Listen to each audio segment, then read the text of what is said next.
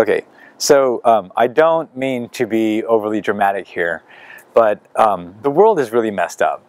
And I think it's a reality that often doesn't get uh, communicated, especially in short video clips like this where everything's supposed to be quite cheery. But actually, um, as someone who's studied and thought through a good bit of Christian philosophy, uh, Christian philosophy and theology, uh, there's something about the world that's really fallen. And we all know this from the doctrine of the fall, you know, Genesis 3, what have you.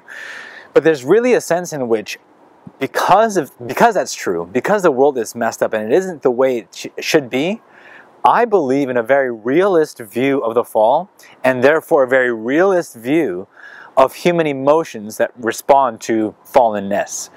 And I think it's actually good that we as Christians give ourselves permission to just be upset at things that happen in a way that they shouldn't happen. To have frustration and to experience frustration, to, to grieve over something, to mourn, to lament. Of course, all of this is in the Psalms, but for some reason in contemporary Christianity, especially within evangelicalism, we don't give ourselves the space or the permission to just mourn and to be frustrated and to just say that sometimes this world just looks a lot more like hell than it does what perhaps heaven would be. So I just wanted to share this, and I'm sharing this for two reasons. Um, the first reason is really I, uh, partly because of this notion I've talked about before in another video, which is reification. Again, that's just a fancy term, just means you take the word res in Latin, uh, like res publica, which is the public thing. So the public thing, res, is just means thing. And again, in English, we would just the literally we would translate it by saying thingify. It's just to make it into a thing. And the reason I'm having this talk about giving ourselves permission to be frustrated at the world is because if I weren't to do this ever in the span of say 20 short videos like this, I would have reified this belief that all of Christianity is cheerfulness, and it's not. Uh, I just have to remind myself this and also give my college students permission that go to the, a Christian college and all my friends who would ever care to see this video. I actually do think we need to give ourselves permission to just be frustrated at things that are just fallen. The second reason I guess I'm talking about this is because of a book I've been recently reading uh, by Nicholas Wolterstorff, who's a great philosopher who happens to be a devoted evangelical. But Nicholas Wolterstorff taught at Yale for many years, is now at Virginia.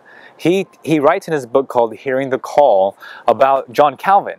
And Calvin actually was a realist theologian as well. He saw what Augustine said where Augustine felt bad for mourning his mother's death because, well, that's not a Christian thing to do, put bluntly.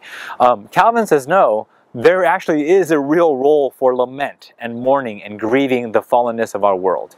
Um, and so off reading that book, I, I, just wanted to share this little thought that I've had um, from, from recent experiences, but also from Wolterstorff's book. And the last thing I want to say is not just reification. I don't want to reify the wrong thing and give a more realist uh, view of Christianity. But the second thing is, at the end of the day, there is redemption.